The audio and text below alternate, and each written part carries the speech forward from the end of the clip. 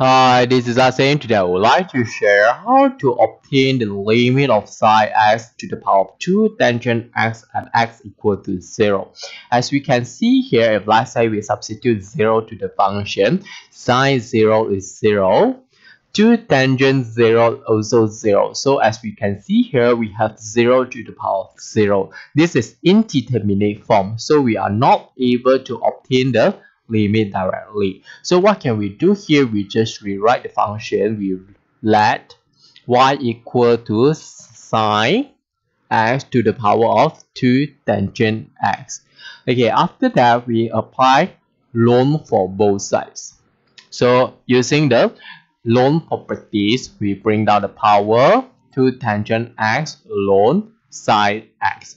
So it means that the limit of ln y when x approaches 0 is equal to the limit of x approaches 0 for the function 2 tangent x ln sine x. Since 2 is constant, we can take out.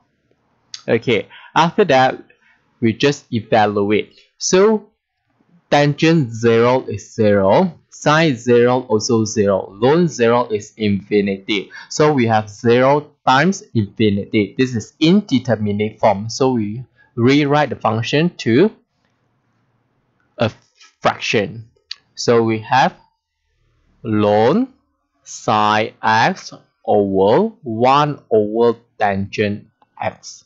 So 1 over 1 over tangent we obtain tangent so we have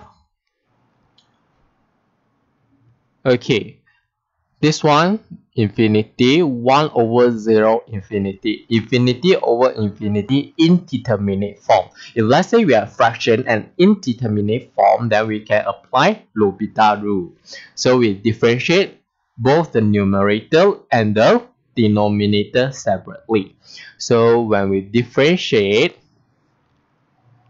okay we just copy back the limit. Okay when we differentiate ln sine x we have okay differentiate ln sine x is 1 over sine x.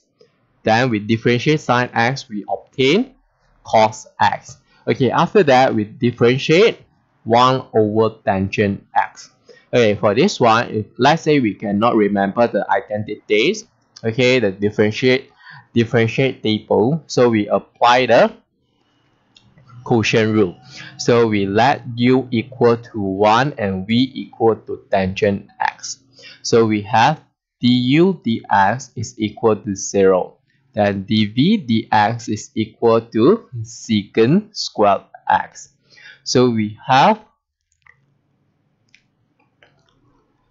v du dx minus u dv dx over v squared. So we have v is tangent x, then du dx is 0. So minus u is 1 and dv dx is secant squared x. And we over tangent square x since it's v squared. So tangent x times 0 is 0. Then we minus secant squared. Secant is 1 over cos. So we have 1 over cos squared x. And tangent is sine squared x over cos squared x. Okay, 0 minus 1 over, so means that we have negative 1 over cos squared x over sine squared x over cos squared x. Okay, then we simplify, so we cancel out cos squared, then we left only negative 1 over sine squared x. So it means that the differentiate the derivative of 1 over tangent x is negative 1 over sine squared x. Okay, so we have, okay, we cancel, then we left only two limit x approaches 0. Okay, cos times sine. So we have negative cos x times sine x. Okay, then we check and see. So when we substitute 0 to cos x, we have 1. and we substitute 0 to sine x we have 0 so 1 times 0 is 0 so limit of this function is 0 so 2 times 0 we have 0 okay after that we use the limit properties. Okay from here we can see that limit x approaches 0 for the function ln y is equal to 0 so we take out the ln we have limit x approaches 0 y is equal to 0 then we anti-ln both sides.